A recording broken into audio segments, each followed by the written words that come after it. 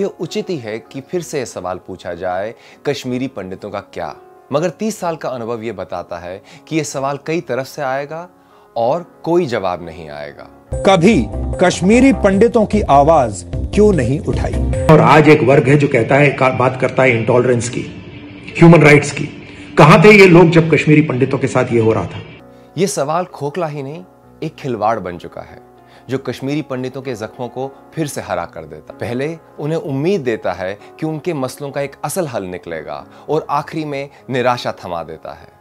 और साथ ही साथ ये मुसलमानों के खिलाफ भावना को बढ़ाता है। मैं और मेरा परिवार 30 साल पहले कश्मीर से निकले और वापस नहीं लौट पाए। मैं उस घटना के 30 साल बाद तीन सवाल पूछना चाहता हूँ, जो कश्मीर के घावों पर मरहम लगाने से जुड़े हैं। पहला सवाल, जिन लोगों को मारा गया, उनके और उनके परिवारों के लिए न्याय किस तरह से मिलेगा? दूसरा सवाल, कश्मीरी पंडितों की पहचान को कैसे बचाए रखा जा सकता है? तीसरा सवाल, कश्मीरी पंडितों के वापस आने के लिए क्या कदम उठाने होंगे? तीस साल बाद कितने लोग मारे गए? इसका भी सही आंकड़ा हमारे पास नहीं है। 2017 में सुप्रीम कोर्ट ने मारे गए लोगों से जुड़ी याचिका को खारिज कर दिया।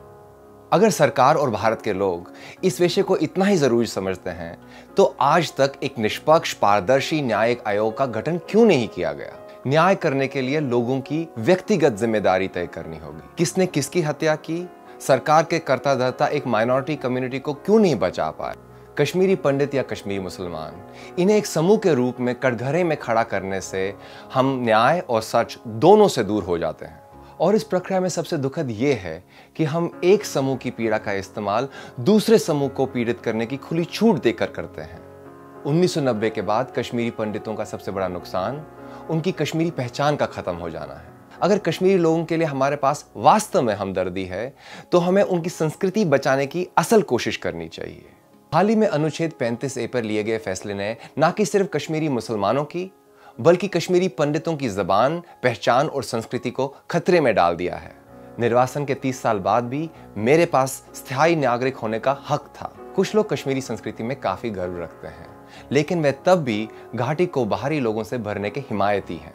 सीधे सीधे बोला जाए तो यह आपसी बर्बादी को दावत देने वाला कदम है। भारत के कई राज्यों के पास अपनी पहचान को बचाए रखने का कानूनन हक है। कश्मीर भी ऐसे कानून का हकदार है।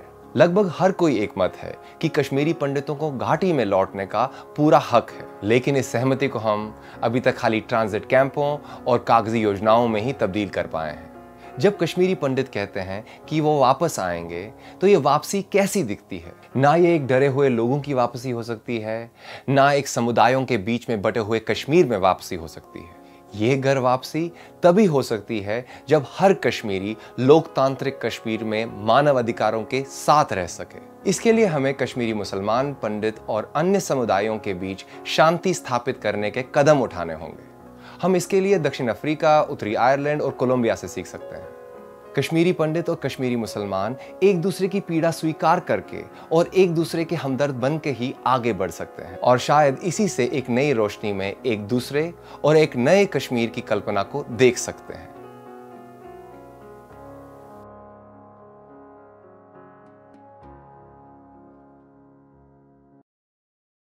दवायर के और वीडियोस देखने के लिए सब्सक्राइब करें और बेल आइकन पर क्लिक करें। स्वतंत्र पत्रकारिता की आर्थिक मदद करने के लिए डिस्क्रिप्शन में दिए गए लिंक पर जाएँ और अपनी राशि चुनें।